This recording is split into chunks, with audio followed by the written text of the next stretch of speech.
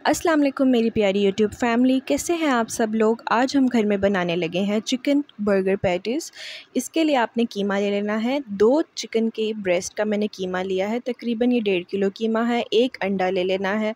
साथ ही साथ नमक, लाल मिर्च गार्लिक पाउडर जिंजर पाउडर काली मिर्च पेपरिका पाउडर ये सारी चीज़ें हमने बीच में ऐड कर लेनी है। सोया सॉस चिली सॉस भी हमने इसके अंदर ऐड करना है। साथ ही साथ मैंने डेढ़ किलो कीमे में लिया है छः ब्रेड के स्लाइसेस और दूध। आधा कप मैंने दूध लिया है। दूध के अंदर थोड़ी सी मैंने काली मिर्च ऐड की है, धनिया ले लें साथ साथ और ये मैंने हरी मिर्चों की पेस्ट बना ली है। ठीक है, ये सारी चीज़ें जो भी मैंने आपको इंग्रेडिएंट्स में बताई हैं, ये आपने एक चॉपर में डाल लेनी है और इसको अच्छी तरह से चॉप कर लेना है। मैंने ज़्यादा मटेरियल पहले डाल दिया था, बाद में मैंने इसको कम किया था क्योंकि चॉप इजीली नहीं हो पा रहा था। खैर बर्गर पैटीज़ घर में बनाना आजकल इतना मुश्किल अब आपको नहीं लगेगा। पहले लगता था क्योंकि बर्गर पैटीज़ बहुत ज़्यादा महँगी हो गई हैं।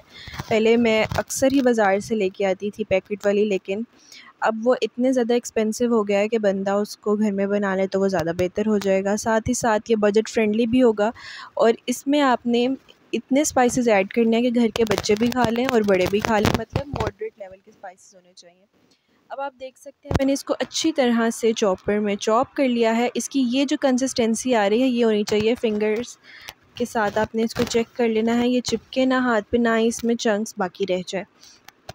अब आपने एक ढक्कन ले लेना है मैंने पत्ती के डब्बे का जो ढक्कन होता है वो लिया। आपने कोई भी अचार का डब्बा या जो भी जिस शेप में और जिस आ, मोटाई में आप बर्गर पैटिस चाहते हैं उस तरह का आप एक ढक्कन ले लें, उसको आपने अच्छी तरह ऑयल से ग्रीस कर लेना है और जिस डिश में आपने इसको बना के रखना है, उसको भी ऑयल से ग्रीस कर लें। उसके बाद आपने इसके ऊपर एक प्लास्टिक की शीट या रैपर चढ़ा देना है। उसके अंदर अपने हिसाब से जितना आपको मटेरियल चाहिए, उतना ऐड करें और अपने हाथों पे भी आपने ऑयल हल्का हल्का सा लगा लेना क्योंकि चिकन का मटेरियल आपके हाथों पे स्टिक करता है और वो फिर उतरना जो है उस, आपके हाथों के साथ लग जाता है तो उसकी शेप इतनी अच्छी नहीं आती है।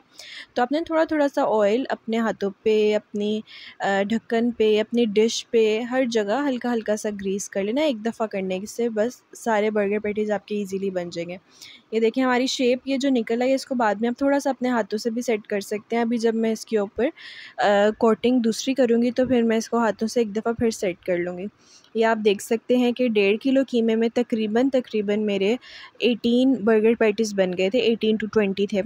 साथ ही साथ आप दो अंडे ले लें, उसमें नमक और लाल मिर्च ऐड कर लें, कॉर्नफ्लोर और मैदा मिक्स कर लिया है मैंने, आपके पास कोई एक चीज़ है तो वो भी ले सकते हैं, उसमें भी नमक और काली मिर्च ऐड कर लें और साथ ही साथ ब्रेड क्रम्स भी ले लें।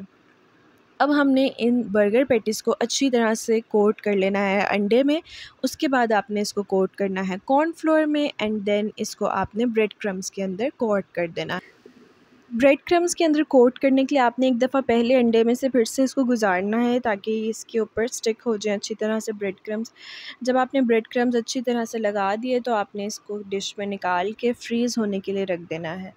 देखें कितनी खूबसूरत इसकी शक्ल आई है और इसका साइज़ बिल्कुल इतना है कि ये एक बर्गर बन के अंदर फिट आ जाए, जो नॉर्मल बर्गर बन का साइज़ होता है।